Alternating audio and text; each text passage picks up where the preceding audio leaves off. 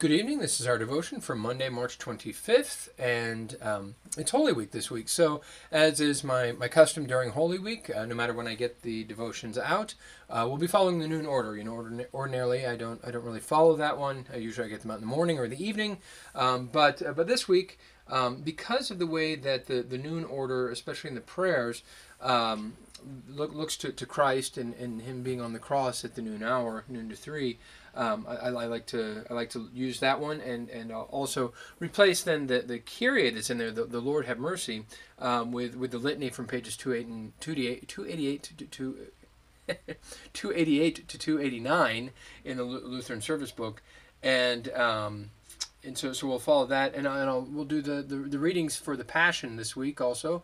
Uh, today we'll do to do we'll do Matthew, Matthew 26 verses 1 through 27, 66. Then uh, Tuesday we'll do Mark, Wednesday we'll do Luke, and Thursday we'll do John. So, uh, in any case, well, we'll go ahead and start. In the name of the Father, and of the Son, and of the Holy Spirit. Amen. Listen to my prayer, O God. Do not ignore my plea. Hear me and answer me. Evening, morning, and noon I cry out in distress, and he hears my voice. Cast your cares on the Lord, and he will sustain you. He will never let the righteous fall. All right, Matthew 26. When Jesus had finished all these sayings, he said to his disciples, You know that after two days the Passover is coming, and the Son of Man will be delivered up to be crucified. Then the chief priests and the elders of the people gathered in the palace of the high priest, whose name was Caiaphas, and plotted together in order to arrest Jesus by stealth and kill him. But they said, Not during the feast, lest there be an uproar among the people. Now, when Jesus was at Bethany in the house of Simon the leper, a woman came up to him with an alabaster flask of very expensive ointment, and she poured it on his head as he reclined at table. And when the disciples saw it, they were indignant, saying, Why this waste? For this could have been sold for a large sum and given to the poor. But Jesus, aware of this, said to them, Why do you trouble the woman? For she has done a beautiful thing to me. For you will always have the poor with you, but you will not always have me. In pouring this ointment on my body, she has done it to prepare me for burial. Truly I say to you, wherever this gospel is proclaimed in the whole world, what she has done will also be told in memory of her. Then one of the twelve, whose name was Judas Iscariot, went to the chief priests and said, What will you give me if I deliver him over to you? And they paid him thirty pieces of silver, and from that moment he sought an opportunity to betray him. Now, on the first day of unleavened bread, the disciples came to Jesus, saying, Where will you have us prepare for you to eat the Passover? He said, Go into the city to a certain man and say to him, The teacher says, My time is at hand. I will keep the Passover at your house with my disciples. And the disciples did as Jesus had directed them, and they prepared the Passover. When it was evening, he reclined at table with the twelve. And as they were eating, he said, Truly I say to you, one of you will betray me. And they were very sorrowful, and began to say to him one after another, Is it I, Lord? He answered, He who has dipped his hand in the dish with me will betray me. The Son of Man goes as it is written of him, but woe to that man by whom the Son of Man is betrayed. It would have been better for that man if he had not been born. Judas, who would betray him, answered, Is it I, Rabbi? He said to him, You have said so. Now, as they were eating, Jesus took bread, and after blessing it, broke it, and gave it to the disciples, and said, Take, eat. This is my body. And he took a cup, and when he had given thanks, he gave it to them, saying, Drink of it, all of you, for this is my blood of the covenant, which is poured out for many for the forgiveness of sins. I tell you that I will not drink again of this fruit of the vine until that day when I drink it new with you in my Father's kingdom. And when they had sung a hymn, they went out to the Mount of Olives. Then Jesus said to them, You will all fall away because of me this night, for it is written, I will strike the shepherd, and the sheep of the flock will be scattered. But after I am raised up, I will go before you to Galilee. Peter answered him, Though they all will fall away because of you, I will never fall away. Jesus said to him, Truly I tell you, this very night, before the rooster crows, you will deny me three times. Peter said to him, Even if I must die with you, I will not deny you. And all the disciples said the same. Then Jesus went with them to a place called Gethsemane. He said to his disciples, Sit here while I go over there and pray. And taking with him Peter and the two sons of Zebedee, he began to be sorrowful and troubled. Then he said to them, My soul is very sorrowful, even to death. Remain here and watch with me. And going a little farther, he fell on his face and prayed, saying, My father, if it be possible, let this cup pass from me. Nevertheless, not as I will, but as you will. And he came to the disciples and found them sleeping. And he said to Peter, So you could not watch with me one hour? Watch and pray that you may not enter into temptation. The spirit indeed is willing, but the flesh is weak. Again, for the second time, he went away and prayed, My father, if this cannot pass unless I drink it, your will be done. And again he came and found them sleeping, for their eyes were heavy. So leaving them again, he went away and prayed for the third time, saying the same words again. Then he came to the disciples and said to them, Sleep and take your rest later on. See, the hour is at hand, and the Son of Man is betrayed into the hands of sinners. Rise, let us be going. See, my betrayer is at hand. While he was still speaking, Judas came, one of the twelve, and with him a great crowd with swords and clubs from the chief priests and the elders of the people. Now the betrayer had given them a sign, saying, The one that I kiss is the man, seize him. And he came up to Jesus at once and said, Greetings, Rabbi. And he kissed him. Jesus said to him, Friend, do what you came to do. Then they came up and laid hands on Jesus and seized him. And behold, one of those who were with Jesus stretched out his hand and drew his sword and struck the servant of the high priest and cut off his ear. Then Jesus said to him, Put your sword back into its place, for all who take the sword will perish by the sword. Do you think that I cannot appeal to my Father, and he will at once send me more than twelve legions of angels? But how then should the scriptures be fulfilled that it must be so? At that hour Jesus said to the crowds, Have you come out as against a robber with swords and clubs to capture me? Day after day I sat in the temple teaching, and you did not seize me. But all this has taken place that the scriptures of the prophets might be fulfilled. Then all the disciples left him and fled. Then those who had seized Jesus led him to Caiaphas the high priest, where the scribes and elders had gathered. And Peter was following, at, following him at a distance, as far, far as the courtyard of the high priest, and going inside he sat with the guards to see the end. Now the chief priests and the whole council were seeking false testimony against Jesus, that they might put him to death. But they found none, though many false witnesses came forward. At last two came forward and said, This man said, I am able to destroy the temple of God and rebuild it in three days. And the high priest stood up and said, Have you no answer to make? What is it that these men testify against you? But Jesus remained silent, and the high priest said to him, I adjure you, by the living God, tell us if you are the Christ, the Son of God. Jesus said to him, You have said so. But I tell you, from now on you will see the Son of Man seated at the right hand of power and coming on the clouds of heaven. Then the priest tore his ro- high priest tore his robes and said, "He has uttered blasphemy. What other what further witness do we need? You have heard his blas- You have now heard his blasphemy. What is your judgment?" They answered, "He deserves death." Then they spit in his face and struck him, and some slapped him, saying, "Prophesy to us, you Christ. Who is it that struck you?" Now Peter was sitting outside in the courtyard, and a servant girl came up to him and said, you also were with Jesus the Galilean. But he denied it before them all, saying, I do not know what you mean. And when he went out to, to the entrance, another servant girl saw him, and she said to the bystanders, This man was with Jesus of Nazareth. And again he denied it with an oath, I do not know the man.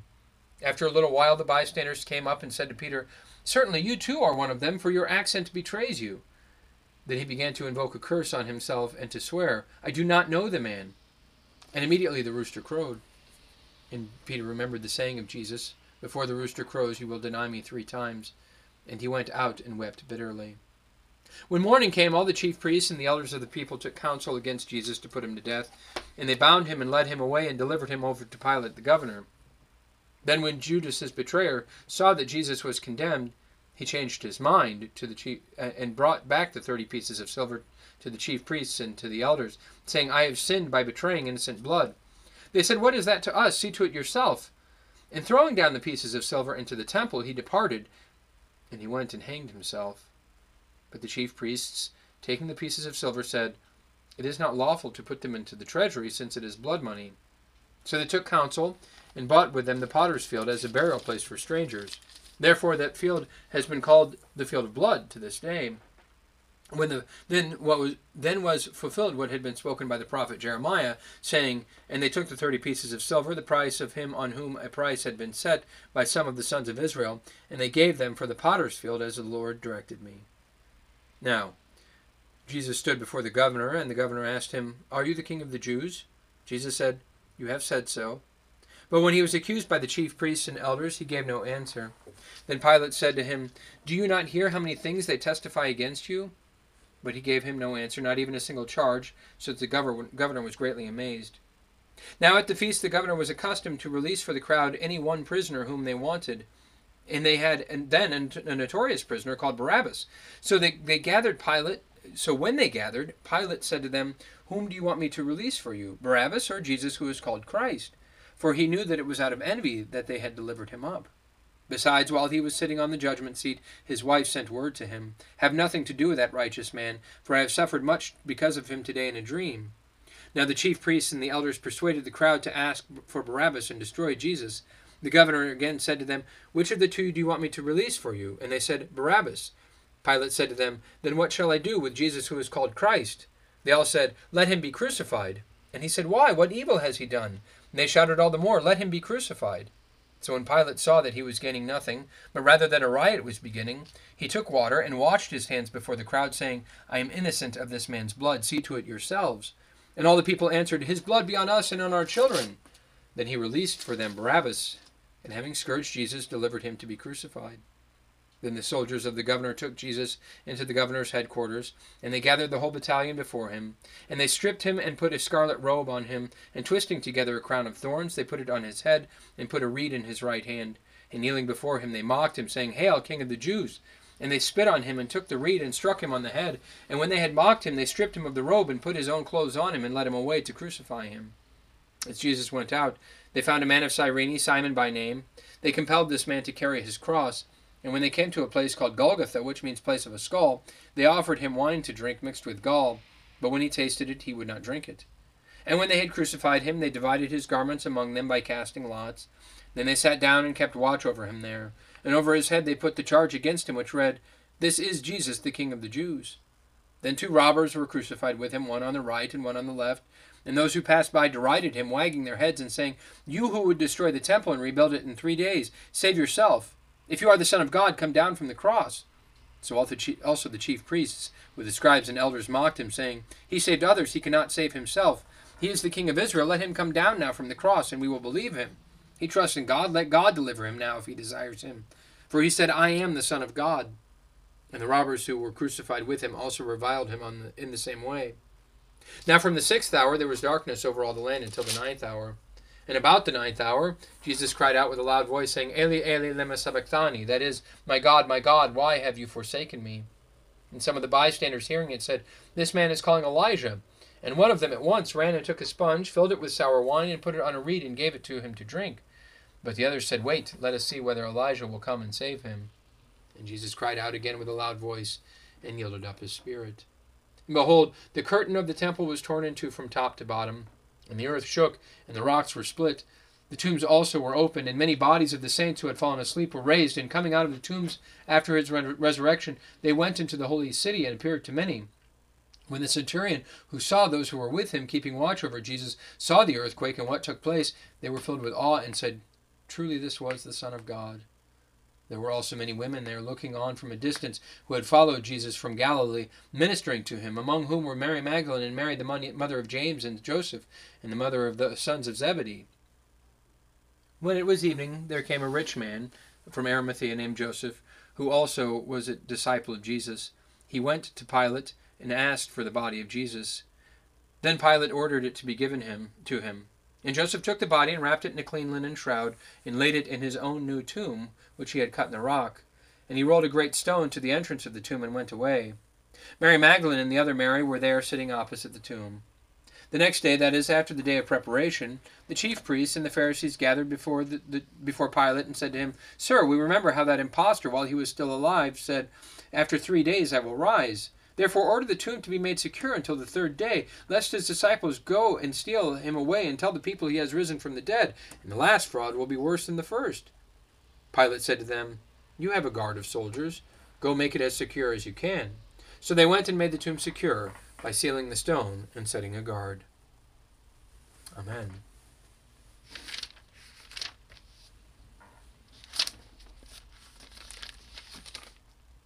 O Lord, have mercy. O Christ, have mercy. O Lord, have mercy. O Christ, hear us. God the Father in heaven, have mercy. God the Son, Redeemer of the world, have mercy. God the Holy Spirit, have mercy. Be gracious to us, spare us, good Lord. Be gracious to us, help us, good Lord. From all sin, from all error, from all evil, from the crafts and assaults of the devil, from sudden and evil death, from pestilence and famine, from war and bloodshed, from sedition and rebellion, from lightning and tempest, from all calamity by fire and water, and from everlasting death. Good Lord, deliver us. By the mystery of your holy incarnation, by your holy nativity, by your baptism, fasting, and temptation, by your agony and bloody sweat, by your cross and passion, by your precious death and burial, by your glorious resurrection and ascension, by the coming of the Holy Spirit the Comforter, help us, good Lord. In all time of our tribulation, in all time of our prosperity, in the hour of death and the day of judgment, help us, good Lord. We poor sinners implore you to hear us, O Lord. To rule and govern your holy Christian church, to preserve all pastors and ministers of your church in the true knowledge and understanding of your wholesome word, and to sustain them in holy living.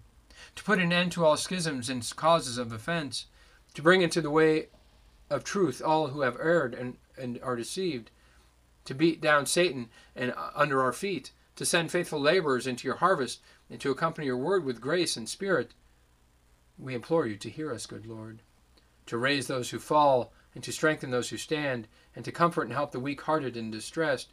We implore you to hear us, good Lord, to give to all peoples concord and peace, to preserve our land from discord and strife, to give our country your protection in every time of need to direct and defend our president and all in authority, to bless and protect our magistrates and all our people, to watch over and help all who are in danger, necessity, and tribulation, to protect and guide all who travel, to grant all women with child and all mothers with infant children increasing happiness in their blessings, to defend all orphans and widows and provide for them, to strengthen and keep all sick persons and young children, to free those in bondage, and to have mercy on us all.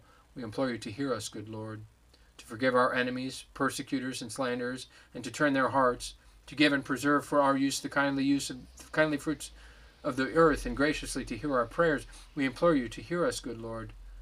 Lord Jesus Christ, Son of God, we implore you to hear us. Christ, the Lamb of God who takes away the sin of the world, have mercy. Christ, the Lamb of God who takes away the sin of the world, have mercy. Christ, the Lamb of God who takes away the sin of the world, grant us your peace. O Christ, hear us. O Lord, have mercy. O Christ, have mercy. O Lord, have mercy. Amen. Blessed Lord Jesus Christ, at this hour you hung upon the cross, stretching out your loving arms to embrace the world in your death. Grant that all people of the earth may look to you and see their salvation for your mercy's sake, we pray. Amen. Let us bless the Lord. Thanks be to God.